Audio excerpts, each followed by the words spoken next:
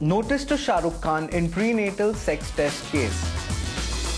Superstar Shah Rukh Khan and his wife Gauri Khan have been issued notice by the Bombay High Court on a petition filed by a social activist, challenging a magistrate's order refusing her application for documents pertaining to the couple's child born through surrogacy.